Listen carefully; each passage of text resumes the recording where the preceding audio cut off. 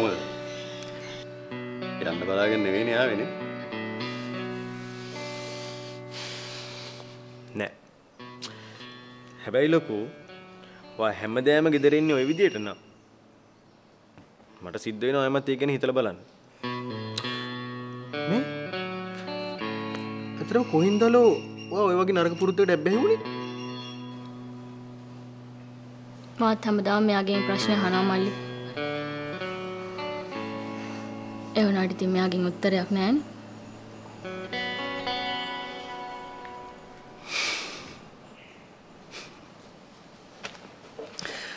හරි හරි. අදින් පස්සේ මෙහෙම දේවල් වෙන්නේ දෙන්නම් මට සමා වෙන්න ඕන. මේ මේ පොඩි ආපු හැපි එකටත් එක්ක අපි යමුද ඩිනර් අද එපා.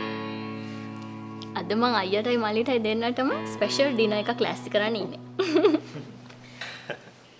වව්. ඒක නම් නියමයි අක්කා. හැබැයි අයියයි මල්ලි දෙන්නම ඉන්න ඕනේ.